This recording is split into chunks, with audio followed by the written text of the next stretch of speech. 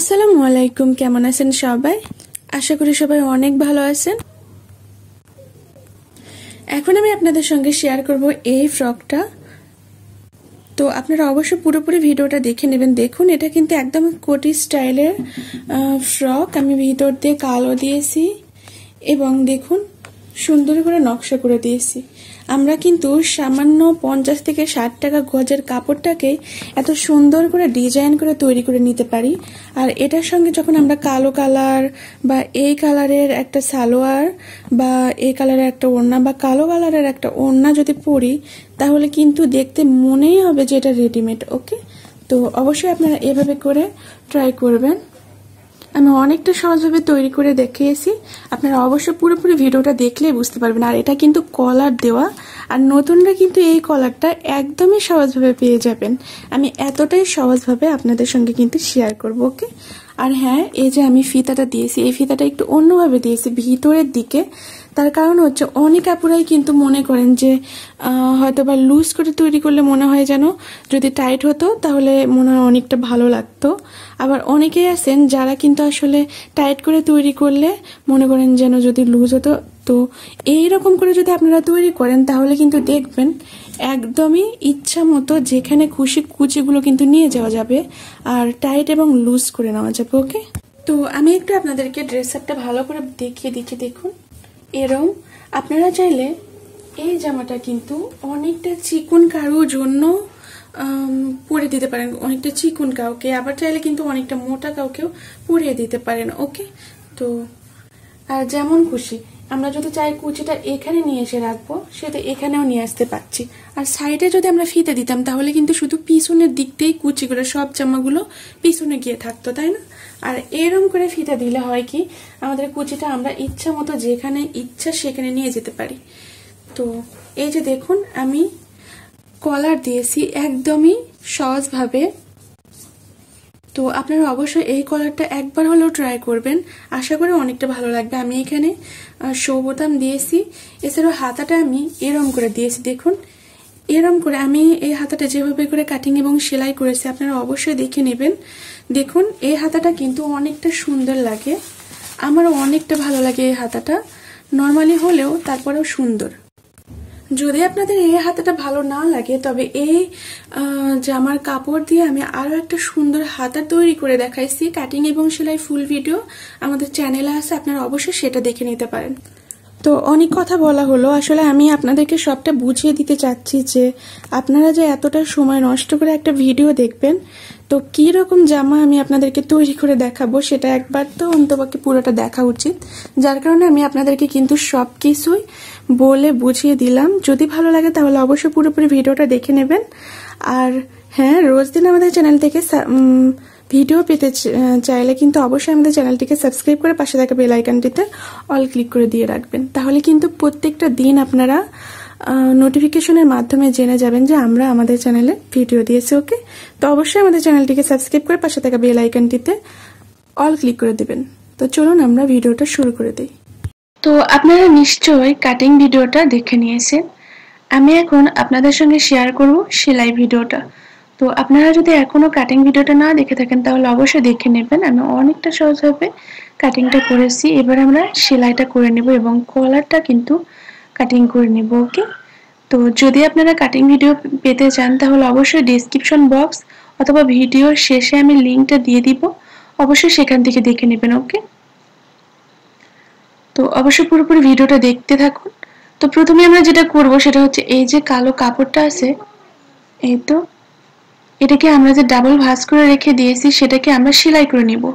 এবং ভাঁজ করার, দেখুন এখানে বারো ইঞ্চি পর্যন্ত, উপর থেকে বারো ইঞ্চি পর্যন্ত আমরা কোনো এরকম এই যে কন্যার এই ফুলটা দিব না। তারপরের থেকেই কিন্তু আমরা দিব। আপনারা চাইলে কলার যতটা দিবেন, তারপরের থেকে এটা দিয়ে নিতে পারেন। আমি এখানে কাপড়টা কম ছিল, যার কারণে আমি কিন্তু এগুলো কম করে দিয়েছি। আপনারা চাইলে আরও চেপে চেপে একটু পরপর দিয়ে নিতে পারেন।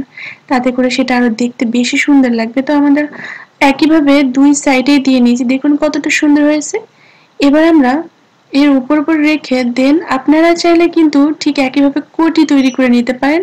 সে তো সুবোতাম লাগিয়ে নিতে পারেন। তো আমি এখানে সুবোতামটা জাস্ট এমনিতে লাগাবো। কারণ এই জামার নিচে কিন্তু আমি আর অন্য কোনো জামা পরবো না। সেটা আমি এখানে সেলাইটা দিয়ে নিচ্ছি। দেখুন। তো আমি যতটা সম্ভব সহজভাবে করার চেষ্টা করি। আপনারা যদি পুরোপুরি ভিডিওগুলো দেখেন মানে আমাদের প্রত্যেকটা ভিডিও যদি পুরোপুরি দেখেন, তাহলে কিন্তু আপনারা একবার দেখলে ইনশাল্লাহ নিজেরাও তৈরি করার জন্য একদমই শিখে যাবেন, ওকে? তো অবশ্যই পুরোপুরি ভিডিও দেখে নেবেন। আমি এখানে কিন্তু উপর উপর রেখে দেন, সেলাইটা করে নিচ্ছি।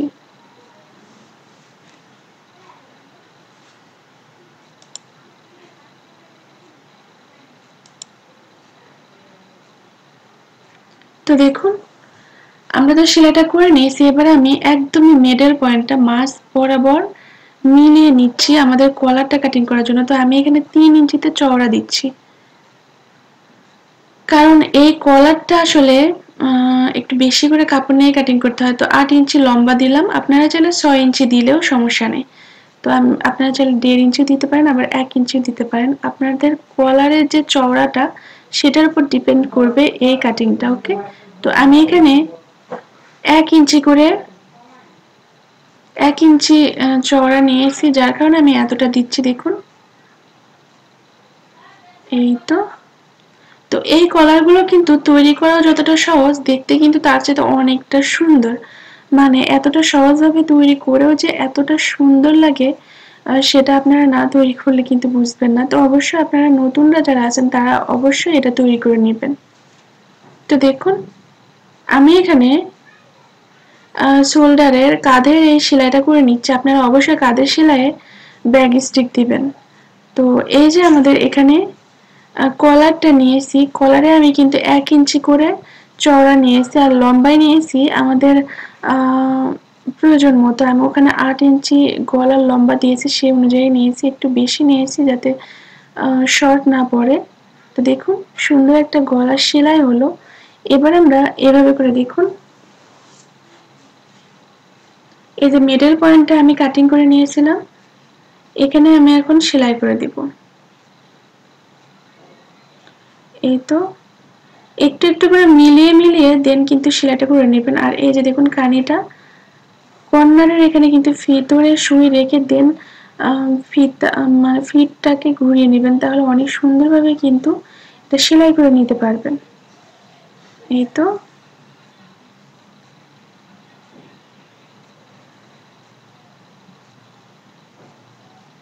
তো আমি অপর সাইডটাও একইভাবে সেলাইটা করে নিচ্ছি। এই যে। তো এরপরে আমি আরও অনেক ধরনের কলার দিয়ে আপনাদের জামা তৈরি করে দেখাবো, কারণ শীতের সিজন চলে আসছে প্রায়। তো এখন কিন্তু কলার জামাগুলো বেশি ভালো লাগবে আর কি। তো অবশ্যই আপনারা আমাদের চ্যানেলের সঙ্গেই থাকবেন। প্রতিদিন ভিডিও পাওয়ার জন্য অবশ্যই আমাদের চ্যানেলটিকে সাবস্ক্রাইব করে পাশে থাকা বেল আইকনটিতে অল ক্লিক করে দেবেন। তো এটা মোড়ানোর একটা নিয়ম আছে, দেখুন, এর ভিতর দিয়ে দিতে হয়, দেখুন, নিচের দিকে। কর্নারে কিন্তু একটু কাটিং করে নেবেন। যেখানে ঠিক কানির মতো হবে, সেখানে একটু কাটিং করে নেবেন। এই যে এভাবে করে দেন কিন্তু আমরা এখানে পিন করে নিব। এটা একদমই সহজভাবেই কিন্তু আমরা তৈরি করে নিতে পারি। এই তো। এবার আমি এখানে পিন করে নিব এইভাবে করে। পিন করে নিলে হবে কি, আপনার আর কোনো টেনশন করতে হবে না। একদম সরাসরি কিন্তু আপনারা সেলাইটা করে নিতে পারবেন। এই তো। তো আমি একটু এখানে সেলাইটা করে নিচ্ছি। এই তো।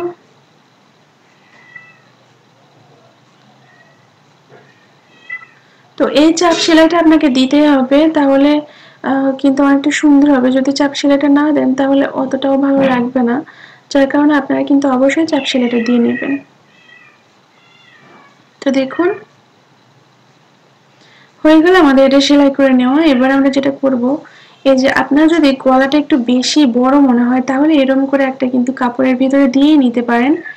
চাইলে আপনারা কিন্তু ওই কাঠালি কালার ওইটাও দিয়ে নিতে পারতেন বা ওখানে একটা কিছু নকশাও করে নিতে পারতেন, সেহেতু সেটাও ভালো লাগতো। আমি ওটা সেলাইটা করে নিয়েছি। আর এই হাতাটা দেখুন এই হাতাটা নর্মাল হলেও এই হাতাটা কিন্তু যদি আপনারা একটু টাইট টাইট টাইট টাইট বলতে হাতার সঙ্গে লেগে থাকবে এমন একটা হাতা তৈরি করতে চান, তাহলে অবশ্যই এইভাবে করে পটি লাগাবেন।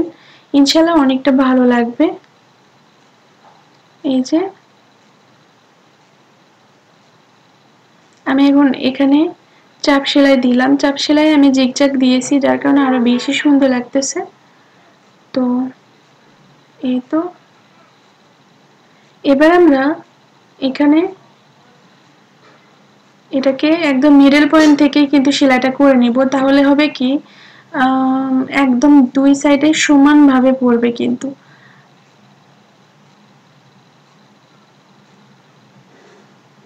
তো দেখুন,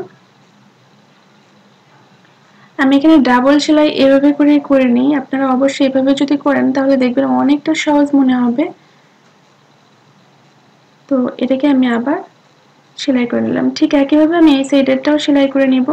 তো দেখুন, সেলাই করা হয়েছে এবার আমরা যেটা করব সেটা হচ্ছে উপর উপরে রেখে দেন কিন্তু আমরা সাইডটা সেলাই করে নিতে পারি। তবে আমি এখানে যেহেতু কোমরের ওখানে ফিতা দিয়েছি, সেটা আমি পনেরো ইঞ্চিতে নিয়েছি। ঠিক শোল্ডারের ওখান থেকে পনেরো ইঞ্চি। তো আপনারা নিশ্চয় জানেন, এটা হচ্ছে আমাদের এক ইঞ্চি করে চওড়া আর লম্বা হচ্ছে আমাদের প্রয়োজন অনুযায়ী। তো ঠিক একইভাবে ওই সাইডেও আমি করে নিয়েছি। দেখুন পিন করে নিয়েছি যাতে ওটা নড়াচড়া না করে। তো দেখুন।